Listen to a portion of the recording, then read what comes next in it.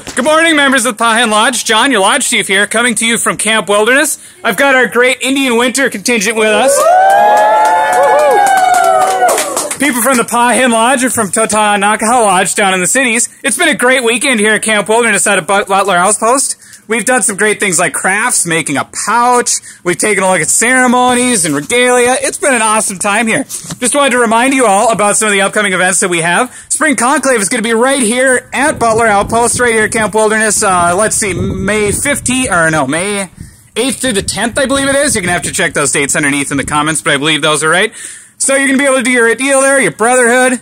It's going to be an awesome weekend. I really encourage you to be there. May 15th through the 17th over at Fort Buford State Historic Site in Williston. There's going to be another one going on. Same exact thing. So I really hope to see you at all those different events. And from our Indian Winter contingent here, we're really happy to see you.